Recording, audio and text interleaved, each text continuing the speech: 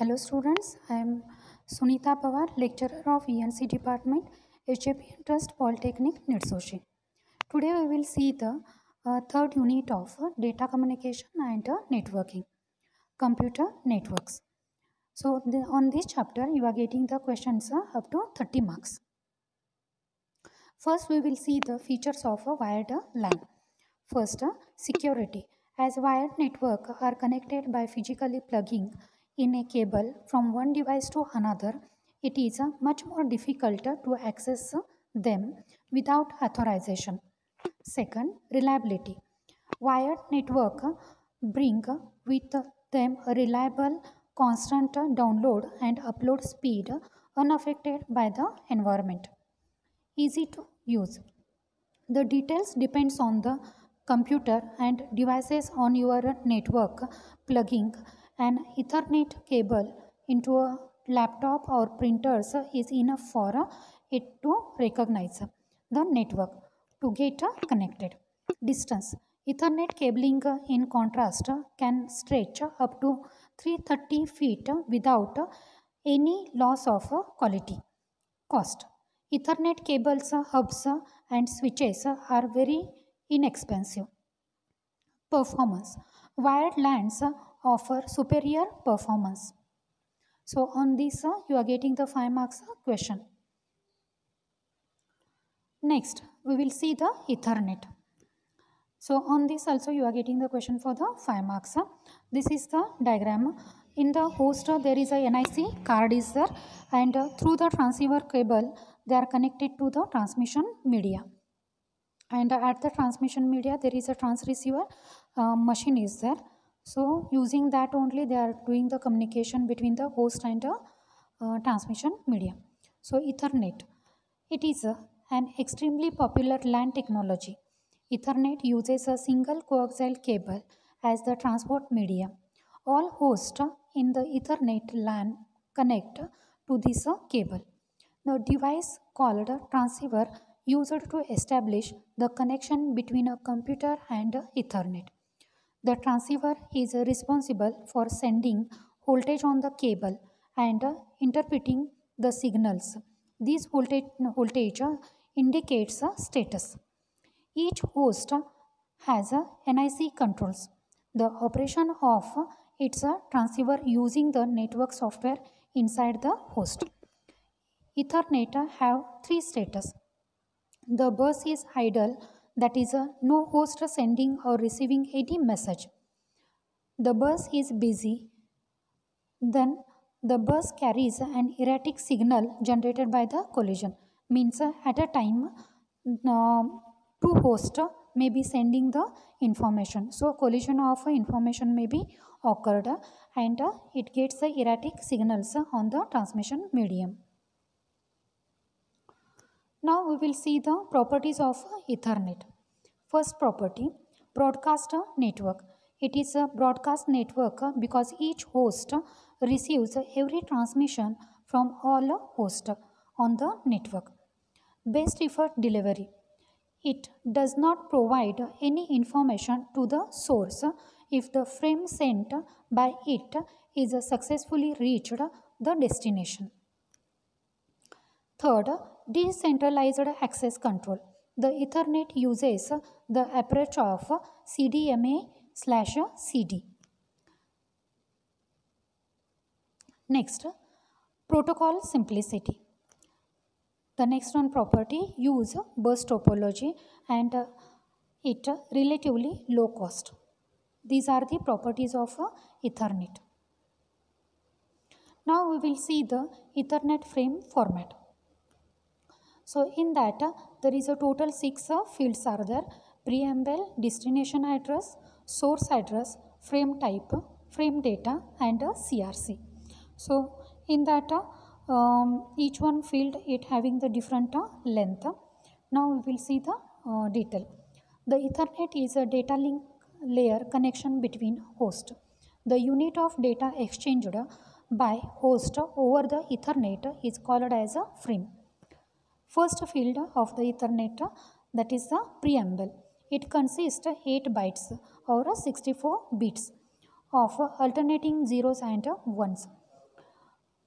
to help the receiving host to synchronize. Second, destination address. The destination field is having 6 bytes and contains the physical address of the destination station. Source address. The SA field is also 6 bytes and contains the physical address of the sender and the packet. Frame type. This field identifies the type of data carried in the frame. Frame data. This field contains the actual data of the frame which can be of a variable length. Cyclic redundancy check that is the CRC.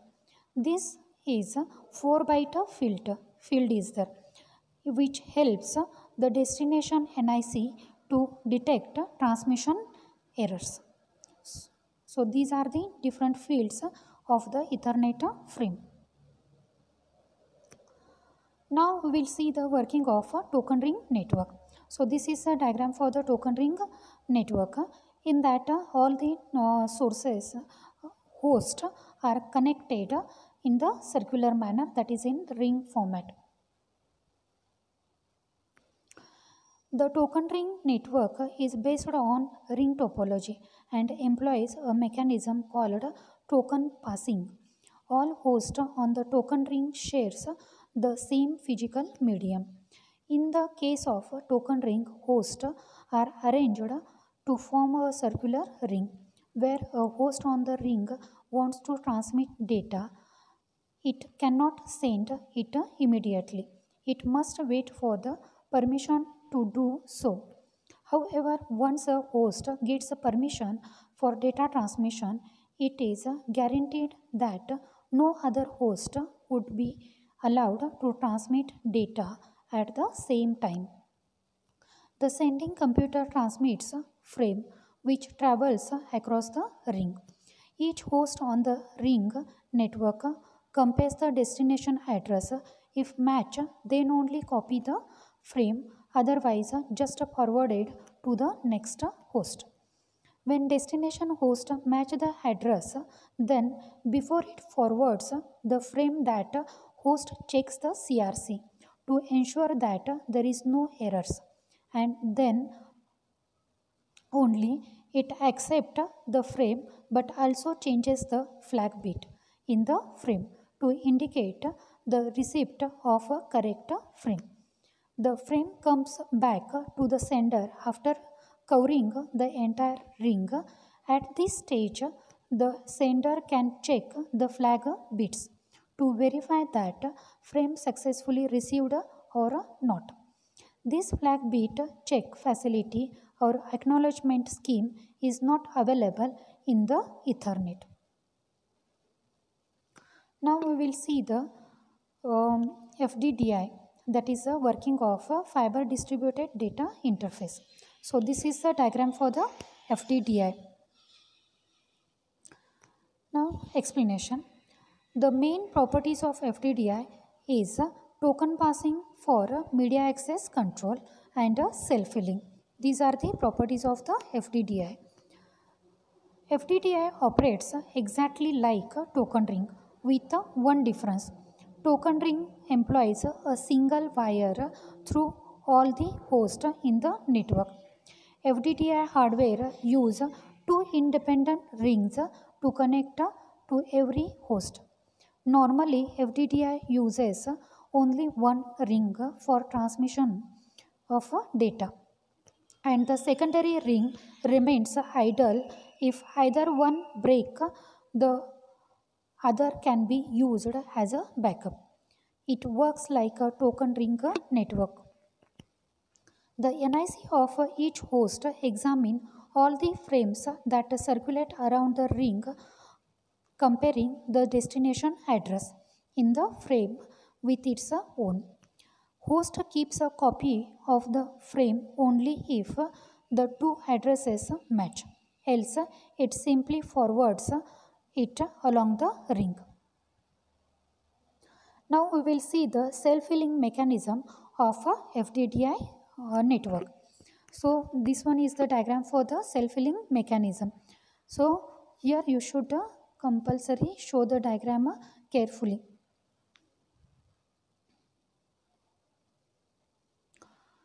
the hardware uh, in fddi provides a mechanism for detecting correcting problem on its own the self-healing mechanism of the fddi network is made possible by secondary when a network error occurs or host is down, the NIC of the host realizes that it cannot communicate with its neighboring host.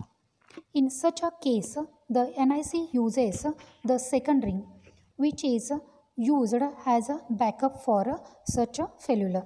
For data transmission, this is called as a loop back. In figure shows one such a instance where the host is temporarily down for some hardware failure. Here, this one host is the failure. So, in that this device or this one uh, host is bypassed and uh, then they are uh, getting the looping here back only.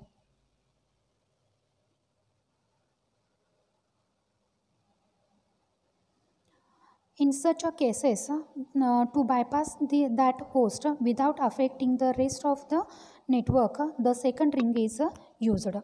The purpose of the second ring, whenever the first ring is fails or a host on the ring fails, then second ring is used to create another closed loop, bypassing the failed host to create a new closed loop. This one is the self-healing mechanism of the FDDI. So on this topic you are getting the question for the 5 marks. Now we will see the concept of Bluetooth architecture. Bluetooth is a wireless LAN technology designed to connect devices offer different functions such as telephone, computers, cameras, printers, etc. Architecture there are two types of the networks are used in the Bluetooth architectures. One is the Piconet and another one is the Scatternet is there. So first we will see the Piconet. It is called a small net. A Piconet can have up to 8 stations, one of which is called as a primary and remaining all other are called as a secondary. So the Piconet structure is shown in below diagram this only. So one host is a primary. And, uh, that host can send the information to remaining all the host. So which are the second uh, remaining other host are there? Those host is called as a secondary. Scatternet. Piconet can be combined to form a scatternet. A secondary station in one piconet can be the primary in another piconet. This station can receive message from the primary in the first piconet and acting as a primary deliver to them secondaries in the second piconet. A station can be member of two piconet. So here is the scatternet. So this one is the first piconet and one of the secondary device it act as a primary for the second piconet. So this one is the diagram for the scatternet. Now we will see the cellular telephony. So this is the setup for the cellular telephony. There is a MNC, uh, MSC uh, center is there, PSTN is there, uh, cells are there in this cell, base station and mobile station is there. And again uh, stationary phone is there. It is designed um, to provide communication between two moving units called mobile stations or between one mobile uh, unit and another one stationary uh, unit is there. Often called the land unit the service provider must be able to locate and track a caller assign a channel to the call and transfer the channel from base station to the base station as the caller moves out of range to make this tracking possible, each cellular service area is divided into small regions called cells. Each cell contains an antenna and is controlled by a solar or AC powered network stations called the base station that is a BS. Each base station in turn is controlled by the switching office called mobile switching center that is a MSC. The MSC coordinates communication between all the base station and the telephone center office or telephone central office. It is a computerized center that is responsible for connecting calls, recording calls and uh, recording call informations and billing. So this one is the uh, cellular telephony. So on this you are getting the 5 marks questions and this one is repeated question is there. Now we will see the features of wireless LANs. First, Bluetooth architecture defines a two kind is services that is a BSS and extended service set. Stations types based on their mobility in a wireless LAN. MAC sublayer to sublayers. Distributed coordination function and a point coordination function is there. Next one uh, feature that is the fragmentation. Data will be fragmented in this uh, wireless LAN. Then frame format. Next one is the addressing mechanism. They use the different addressing mechanism for the uh, this wireless LAN. Now we will see the explanation of uh, WiMAX. On this you are getting the 5 marks uh, question. So worldwide interpret uh, interoperability uh, for microwave access is a family of wireless communication standard based on IEEE 802.16 set of standards which provides multiple physical layers and media access control options. The name of WiMAX was related by the WiMAX forum which was formed in June 2001 to promote conformity and interoperability of standards.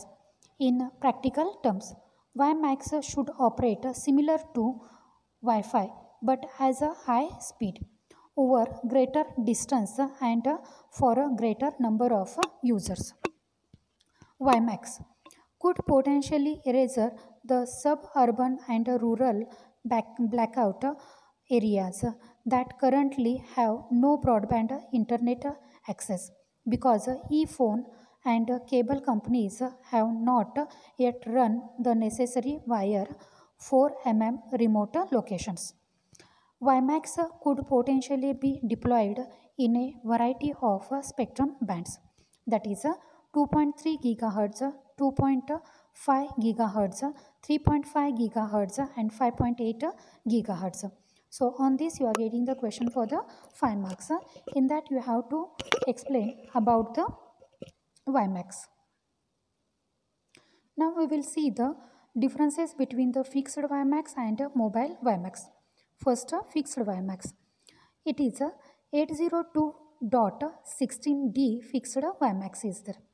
Mobile WiMAX 802.16e mobile WiMAX is there. Fixed not constant battery operation uh, for or a small form factor for handled uh, handheld operations. Constrained by battery life and a small form factor to enable handheld devices. Third the end result is excellent throughput over long distance. This processing power is usually leveraged off the terminal device's main processor whether it be a cell phone or a laptop. Fourth, broadband services from 5 to 40 km. Mobility limits expected range of a terminal devices to the base station to 2 to 3 kilometers. Fixed by Maxa, 16D terminal devices more expensive. 16E terminal devices will be less expensive. So these are the differences between the fixed WiMAX and the mobile WiMAX. Now we will see the to its maximum limit then the station about the transmission. CSMA CD is used for the traditional Ethernets. CSMA CD is an important protocol. So in this chart, so whenever the any host it wants to send the data, then here they are setting the backoff to 0 means there is a uh, some time period is there then persistence strategy is there means they are checking for the uh, network is available or uh, any transmission is going on or not. If suppose there is a transmission no transmission is there then it sends the frame. Then it checks the uh, frame uh, status. If suppose during the transmission there is a collision is uh, occurred then it go, no, goes to the here uh, side by. If suppose collision is not occurred then frame is uh, transmitted successfully if collision is occurred then it uh, set the jam signal. This one jam signal it sent and uh, it increment the backoff time. Means it uh, remains into the ideal state only for uh, some duration. Then after that if suppose this backoff time is reached to the maximum um, limit then it about the transmission. If suppose within that one after this backoff time again it checks the persistency uh, strategy and again it uh, send the frame and it uh, continue to start the frame still collision is not occurred so for this flowchart you should draw the flowchart and uh, according to the flowchart you have to give the explanation for the uh, flowchart of CSMA CD.